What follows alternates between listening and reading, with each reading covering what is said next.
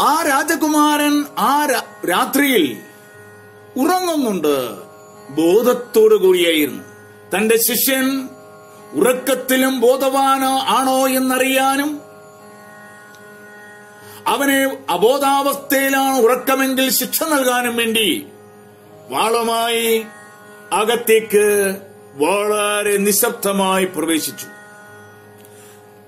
പുതപ്പെട്ട് മൂടിക്കിടക്കുന്ന ആ രാജകുമാരൻ പറഞ്ഞു മഹാഗുരു അങ്ങ് എന്നെ വാളുകൊണ്ട് പ്രഹരിക്കണ്ട.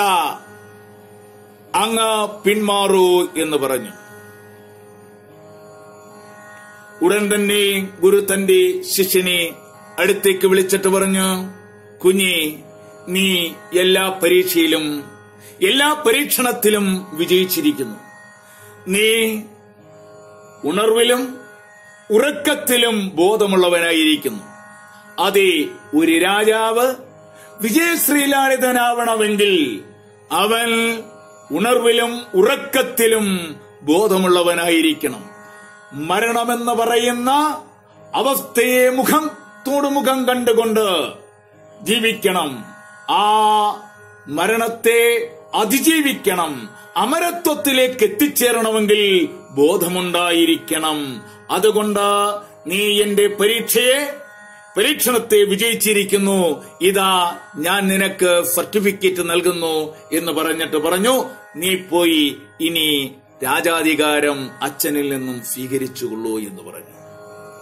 അതെ നാരായണ ഗുരു ഇവിടെ നമ്മെ ബോധ്യപ്പെടുത്തുന്ന ഇതാണ്. നാം ഇനി ഉണരാൻ പാടില്ല ഇനി ഉറങ്ങാനും പാടില്ല.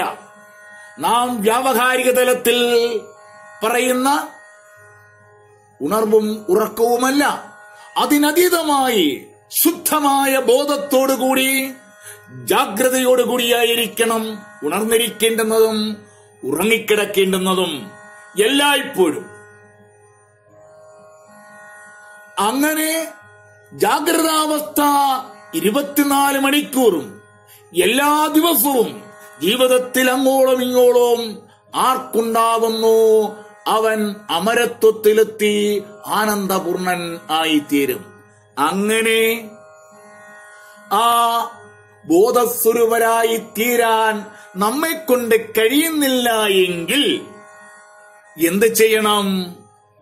പ്രണവമുണർന്ന ഓങ്കാര സ്വരൂപമായി തീർന്ന ഗുരുക്കന്മാരെ അതേ ജനനമരണങ്ങൾക്കതീതരായ മരണരഹിതരായ മുനിമാരെ ഗുരുക്കന്മാരെ നാം പൂജിക്കണം നാം ആരാധിക്കണം അവരുടെ പിന്നാലെ പോകണം. അവരെ അനുധാവനം ചെയ്യുക. അപ്പോൾ ഗുരുവിനെ ആദരിച്ചാൽ ആരാധിച്ചാൽ ക്രമാനുഗതമായി നമ്മൾക്കും ആ ബോധതലത്തിൽ എത്തിച്ചേരാൻ കഴിയും. ആ ആനന്ദതലത്തിൽ എത്തിച്ചേരാൻ കഴിയും. അതേ സംസാര സാഗരത്തിൽ നിന്നും ആനന്ദസാഗരത്തിലേക്ക് നമുക്ക് എത്തിച്ചേരാൻ കഴിയും. അതുകൊണ്ട് ജീവിതത്തെ നിത്യശുദ്ധ മുക്തമാക്കണമെങ്കിൽ നാം ഒരു ഗുരുവിനെ ശരണം പ്രാപിക്കണം. ഗുരുവിനെ ശരണം പ്രാപിച്ചാൽ നാം നമ്മുടെ ജീവിതത്തെ ചൈതന്യമാക്കും മുണ്ടകോപനിഷത്തിൽ മന്ത്രിക്കുന്നുണ്ട് യം യം ലോകം മനസ്സാ സംവിഭാതി വിശുദ്ധ സത്വക കാമയതേ യാം ച കാമാൻ തം തം ലോകം ജയതേ തം ചാമാൻ തസ്മാത്മജ്ഞം ഹെർജയേ ഭൂതികാമ. എന്താ ഇതിന്റെ അർത്ഥം? വിശുദ്ധ സത്തമന്മാരായവർ ഏതേത് ലോകത്തെ ലോകത്തെ ഏതേത് ആ കാര്യങ്ങളെ മനസ്സുകൊണ്ട് സങ്കല്പിക്കുന്നുവോ ആഗ്രഹിക്കുന്നുവോ ഏതേത് കാമ്യവിഷയങ്ങളെ കാമിക്കുന്നുവോ? എന്തിനെ ആഗ്രഹിക്കുന്നുവോ? അതാത് ലോകത്തെയും കാമ്യവിഷയങ്ങളെയും പ്രാപിക്കുന്നുണ്ട്. പ്രണവമുണർന്ന മുനി ഒരു യോഗിയാണെങ്കിൽ ആ യോഗി ആഗ്രഹിക്കുന്ന ലോകവും ആഗ്രഹിക്കുന്ന കാര്യങ്ങളും എല്ലാം അവർക്ക് പ്രാപ്യമാകും. അതുകൊണ്ട് ജീവിതത്തിൽ ഐശ്വര്യത്തെ ആഗ്രഹിക്കുന്നവർ ആത്മജ്ഞാനികളെ പൂജിക്കേണ്ടതാണ്. നാം നമ്മുടെ ജീവിതത്തിൽ ഐശ്വര്യം വേണമെന്ന് ആഗ്രഹിക്കുന്നു എങ്കിൽ ആത്മജ്ഞാനികളെ പൂജിക്കുക. അതാണ് ഗുരു പറഞ്ഞത് ഗുരു ഉപദേശിച്ചത്. നമ്മൾക്ക് ഉണർവിലും ഉറക്കത്തിലും ബോധസ്വരൂപരായിരുന്നു കൊണ്ട് അമരത്വത്തിലെത്തി പരമാനന്ദം അനുഭവിക്കാൻ കഴിയുന്നില്ല എങ്കിൽ പ്രാണന്റെ ഉദ്ഗീതമായ പ്രണവമുണർന്ന ഗുരുവിനെ അതേ പ്രണവമുണർന്നു ജനനമരണങ്ങൾക്കതീതരായ ജനമ ജനനമരണരഹിതരായ ഗുരുവിനെ യോഗിയെ നാം ഭജിക്കണം പ്രാർത്ഥിക്കണം പൂജിക്കണം എന്ന്. നാരായണ ഗുരു പ്രണവമുണർന്ന മുനിയായിരുന്നു ഗുരുവായിരുന്നു. അതാണ് ഗുരു കുണ്ടലിലിപ്പാട്ടെന്ന ജ്ഞാനാമൃതത്തിൽ ഗാനം ചെയ്തത്. ഓമെന്ന് തൊട്ടൊരു കോടിമന്ത്രപ്പൊരുൾ നാമെന്നറിഞ്ഞുകൊണ്ടാട് പാമ്പി. കോടിമന്ത്രപ്പൊരുളായ ഓങ്കാരം നാം തന്നെയാണ് ഞാൻ തന്നെയാണ് എന്ന് നാരായണ ഗുരു അറിഞ്ഞ്. ആ ഓങ്കാരത്തെയാണ് നാരായണ ഗുരു വൈക്കം ഉല്ലലയിൽ പ്രതിഷ്ഠിച്ചിട്ടുള്ളത്. അപ്പോൾ നാരായണ ഗുരു പ്രണവസ്വരൂപനായിരുന്നു. പ്രണവമുണർന്ന മുനിയായിരുന്നു ഗുരുവായിരുന്നു. ആയിരുന്നുവല്ല ആണ്. അങ്ങനെ പ്രണവസ്വരൂപനായ ഗുരുവിനെ ഓങ്കാരരൂപനായ ഗുരുവിനെ മൂർത്തിരൂപമായി കണ്ട നാം ഭജിക്കണം എന്നാണ് ഉപനിഷത്ത് അതേ മുണ്ടകോപനിഷത്ത് നമ്മെ പഠിപ്പിക്കുന്നത്. നാരായണ ഗുരു ആ തത്വത്തെ ആധുനിക ലോകത്തിന് അനാവരണം ചെയ്തിരിക്കുകയാണ്. എങ്ങനെ? സാധാരണ ജീവിതം ഉറങ്ങയും ഉണർന്നും ഉറങ്ങയും ഉണർന്നും പോവുകയാണ്. ഗുരു പറയുന്നു ഉണർവിലും ഉറക്കത്തിലും ബോധമുള്ളവരായിരിക്കണം. അതല്ല എങ്കിൽ അപകടകരമായിരിക്കും. അതുകൊണ്ടാണ് ഗുരു പറയുന്നത് ഇനി ഉണരാൻ പാടില്ല ഇനി ഉറങ്ങാനും പാടില്ല. അതെ നാം ബോധസ്വരൂപരായി കഴിഞ്ഞാൽ നമ്മൾക്ക് പിന്നെ ഉണർവുമില്ല ഉറക്കവുമില്ല.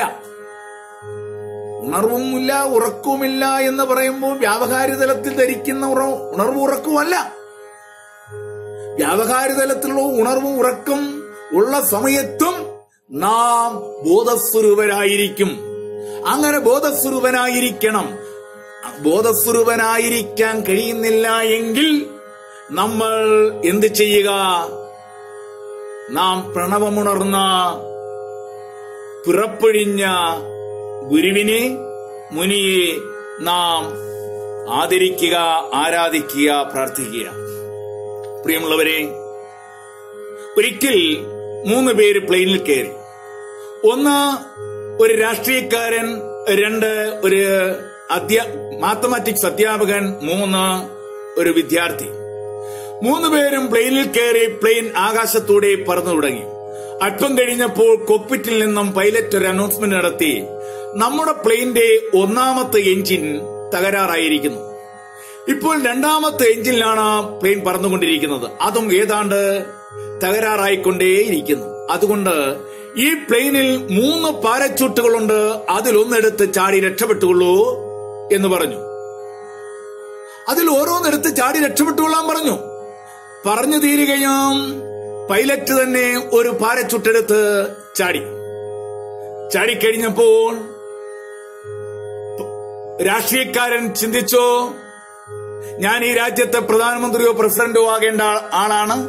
ആകാശത്ത് കത്തിക്കരിയേണ്ടതല്ല എന്ന് ചിന്തിച്ചുകൊണ്ട് എത്രയും വേഗം രക്ഷപ്പെടുക എന്ന് ധരിച്ചുകൊണ്ട് അദ്ദേഹവും ഒന്നെടുത്ത് ചാടി. ചാടിക്കഴിഞ്ഞപ്പോൾ മാത്തമാറ്റിക്സ് അധ്യാപകൻ സ്റ്റുഡന്റിനെ വിളിച്ചിട്ട് പറഞ്ഞു മോനെ നീ കൊച്ചുകുഞ്ഞാണ് ജീവിതം എന്തെന്ന് നിനക്കറിയില്ല. നീ അനുഭവിച്ചിട്ടില്ല. അതുകൊണ്ട് അവശേഷിച്ചിരിക്കുന്ന ഒരു പാരച്ചൂട്ട് ഉപയോഗിച്ച് നീ ചാടി രക്ഷപ്പെട്ടുകൊള്ളൂ എന്ന് പറഞ്ഞു. സാർ നമുക്ക് രണ്ടുപേർക്കും ചാടാം സാർ? മോനെ പറ്റില്ല. ഒരു പാരച്ചൂട്ടിൽ ഒരാളിനെ ചാടാൻ പറ്റുകയുള്ളൂ. അങ്ങനെയല്ല സാർ? രണ്ട് പാരച്ചുട്ടുണ്ട് സാർ. രണ്ട് പാരച്ചുട്ടോ അതെ സാർ അതെങ്ങനെടാ? നീ എന്നെ കണക്ക് പഠിപ്പിക്കുകയാണോ ഡാ എത്ര പാരച്ചുട്ടുണ്ടായിരുന്നു മൊത്തം? മൂന്ന് സാർ. അതിൽ ഒന്നെടുത്തുകൊണ്ട് പൈലറ്റ് ചാടിയില്ലേ? ചാടി സാർ. അപ്പൊ പിന്നെ എത്ര ഉണ്ടടാ? രണ്ട് സാർ. അതിനുശേഷം രാഷ്ട്രീയക്കാരൻ ചാടിയില്ലേടാ? ചാടി സാർ. അപ്പൊ പിന്നെ എത്ര ഉണ്ടടാ? രണ്ട് സാർ. രണ്ടോ? അതെങ്ങനെയാടാ രണ്ട് വരുന്നത്? സോറി സാർ ആ രാഷ്ട്രീയക്കാരൻ എന്റെ സ്കൂൾ ബാഗ് എടുത്തുകൊണ്ടാണ് ചാടിയത്. പ്രിയമുള്ളവരെ എന്തു മനസ്സിലാക്കാൻ കഴിഞ്ഞു? ജാഗ്രതയില്ലാതെ ശ്രദ്ധയില്ലാതെ പ്രവർത്തിച്ചതിനാൽ ആ പൊളിറ്റീഷ്യൻ അന്ധകാരത്തിലായി അപകടത്തിലായി അപജയത്തിലായി ആതങ്കത്തിലായി. അതെ നാം നമ്മുടെ ജീവിതം വിജയകരമാക്കണമെങ്കിൽ ആനന്ദകരമാക്കണമെങ്കിൽ ബോധസ്വരൂപരായി മാറണം. ബോധസ്വരൂപരായി ഇരിക്കാൻ നമ്മൾക്ക് കഴിയുന്നില്ല എങ്കിൽ നാം എന്തു ചെയ്യണം? പ്രണവമുണർന്ന് ബോധസ്വരൂപരായ അമരത്വമുള്ള ജനനമരണങ്ങൾക്കതീതരായ നിത്യശുദ്ധ മുക്ത മഹാത്മാവായ ഗുരുവിനെ നാം പൂജിക്കണം. ഇത് തന്നെ ഉപനിഷത്ത് നമ്മെ പഠിപ്പിക്കുന്നു. അതുകൊണ്ട് നിത്യമായ ബോധതലത്തിൽ ഇരിക്കാൻ അപ്രാപ്തരായ നമ്മൾക്ക് ആ പ്രണവമുണർന്ന പിറപ്പൊഴിഞ്ഞതായ അമരത്വമാർന്ന ആ ഗുരുവിനെ നമുക്ക് പൂജിക്കാം ആരാധിക്കാം. അതുവഴി നമ്മൾക്ക് നിത്യമായ ആനന്ദത്തിലേക്ക് എത്തിച്ചേരാം. അതേ സംസാര സാഗരത്തിൽ നിന്നും ആനന്ദ സാഗരത്തിലേക്ക് നമുക്ക് എത്തിച്ചേരാം. അതിനുള്ളതായ സാഹചര്യം സർവർക്കും സംജാതമാവട്ടെ. അതിനുള്ള അനുഗ്രഹം ഗുരുവിൽ നിന്ന് തന്നെ ഉണ്ടാവട്ടെ എന്നുള്ള പ്രാർത്ഥനയോടുകൂടി ഇവിടെ ഈ ജ്ഞാനവലരിക്ക് അർത്ഥവിരാമമിടുന്നു എല്ലാ ജ്ഞാനജിജ്ഞാസുക്കൾക്കും നമസ്കാരം. ഓ